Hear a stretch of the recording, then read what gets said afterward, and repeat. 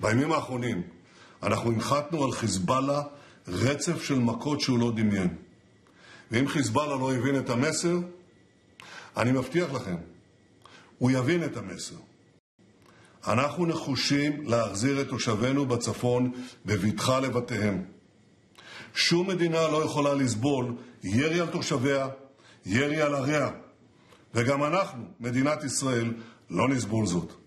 אנחנו נעשה כל מה שצריך כדי להחזיר את הביטחון. On October 8th, another Iranian terrorist proxy, Hezbollah, attacked Israel completely unprovoked. They fired missiles and rockets into our cities.